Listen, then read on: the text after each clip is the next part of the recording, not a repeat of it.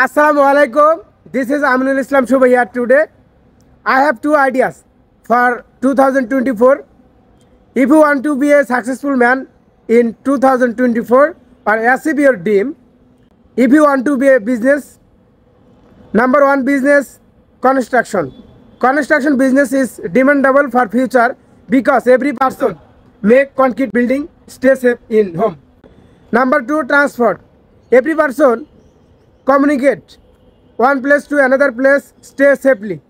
Thank you.